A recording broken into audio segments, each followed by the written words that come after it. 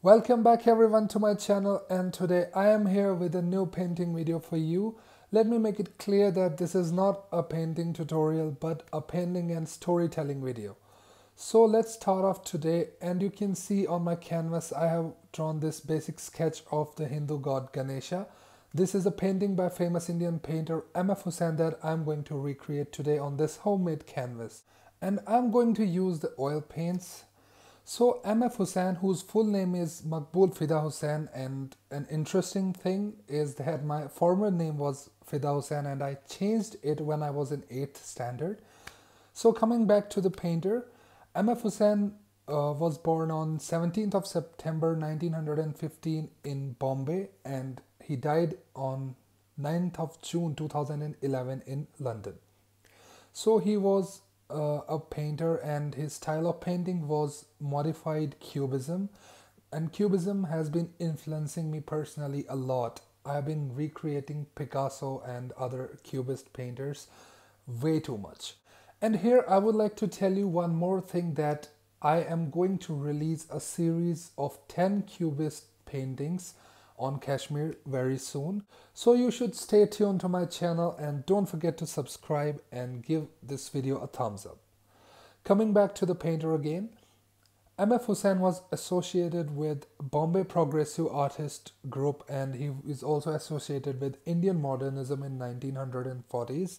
His paintings are considered as vibrantly colored and narrative paintings which are both caustic and funny or serious and somber and there is a very wide range of themes that he has worked upon like uh, mahatma gandhi mother teresa indian epics like ramayana and mahabharata and british raj and motifs of indian urban and rural life. And he was earlier interested in calligraphy when he was admitted by his parents in a madrasa, which is an Islamic school, and there uh, he developed his interest in calligraphy and later he studied art in Sir J.J. School of Art. Without further going into the details of his life, let me tell you some important points. The later works of M.F. Husain included nude paintings of Hindu gods and goddesses and also the nude portrayal of Bharat Mata because of which the right wing in India called for his arrest and several lawsuits were filed for hurting religious sentiments against him. M.F. Husain lived in self imposed exile from 2006 to 2011 until his death in London, and he accepted the citizenship of Qatar in 2010.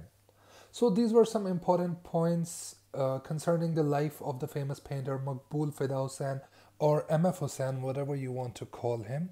And now let's move to the painting. So, this painting of the Hindu god Ganesha by Maqbool Fida Hussain is such a beautiful painting that I have no words to express the beauty of it. Because when I was painting this, I was, um, I don't know in which state I was it was completely mesmerizing. The choice of the colors of the painter is so so amazing that I don't want to take my eyes off this painting. So Ganesha or Ganpati or uh, the other name I don't know how to pronounce it. I guess it's uh, Vinayaka is one of the gods in Hinduism and all the Hindu denominations worship him regardless of their affiliations. Uh, I guess in Hinduism there are people affiliated to different gods, but Ganesha is worshipped regardless of any affiliation to any god or goddess. And uh, devotion to this god Ganesha is said to be extending to Jains and Buddhists as well. Some Jains and Buddhists also worship Ganesha, and these two communities are also, I guess, uh, studied under the common term Hinduism. Coming to the parents of Ganesha, the parents of Ganesha are Shiv and Parvati. Ganesha is worshipped uh, during two festivals. One is Diwali and the second is Ganesh Chaturthi. I don't know if I'm pronouncing it uh, as it is because uh, it's kind of difficult for me to pronounce it. And concerning the birth of Ganesha, Puranas, which are kind of sacred books for Hindus, Puranas say that uh, the Shiva and Parvati discovered Ganesha, and in some versions it is said that Shiv created Ganesha, and in some other versions it is said that Parvati created Ganesha. So Ganesha is readily identified by his head, uh, which is the head of an elephant. And what is the story behind this elephant head? Let me tell you. So I read this story in one of the leading newspapers of India. I don't know the name of it. I don't remember the name of it. And the story goes like uh, the Parvati, the goddess Parvati, was uh, once bathing and she didn't like anyone to disturb her while she was bathing. And one day, while Shiva went out uh, because he had some things to do, Parvati went to bath and she applied something on her uh, body in order to clean it and uh, it was kind of scented paste that was uh, on her body and she just removed it and molded it into a baby and then the baby came into life. And then she hugged the baby and the baby was very very beautiful and it was the same ganesha but he wasn't having that elephant head till then. Then she praises the beauty of the baby and asks him to look after uh, the place where she was bathing and make sure that no one should enter there.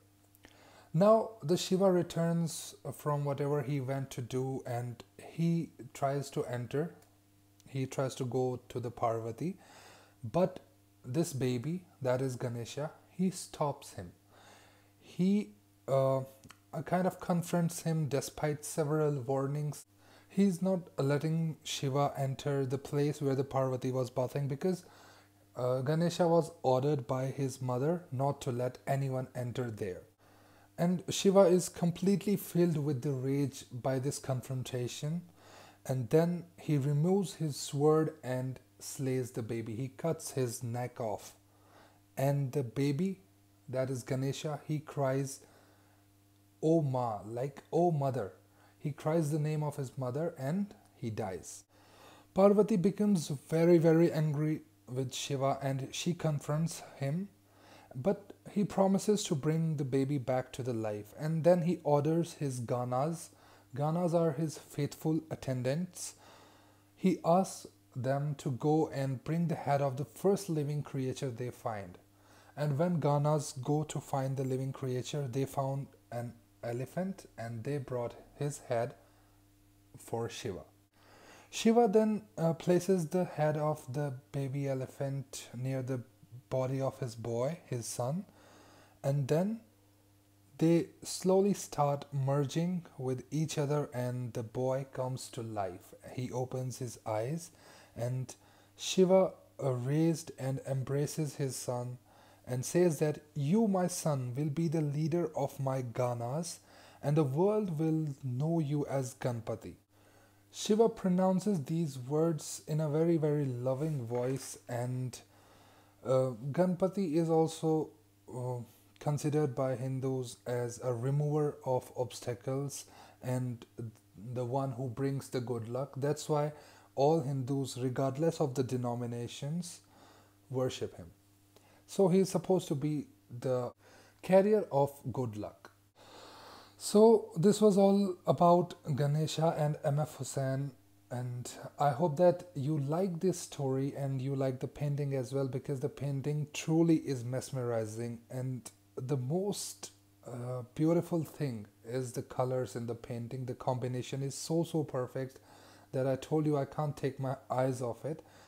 And uh, I haven't uh, gone deep into the details of the life of MF Hussain, but I just uh, try to give you some important things that you should know about an artist. And uh, you know, I read one more thing that he sold his uh, painting for $2.5 million. Not he, but his painting was sold for $2.5 million in a recent auction. And uh, he also apologized later on for the portraits of nude Hindu gods and goddesses. And this was all about the Ganesha as well. I tried to find the story and I could find only this much, and I think that's more than enough to know about him. And thank you for being with me. Thank you for watching. Please don't forget to like, put down a comment, and share with your friends and don't forget to subscribe to my channel. Thank you for watching.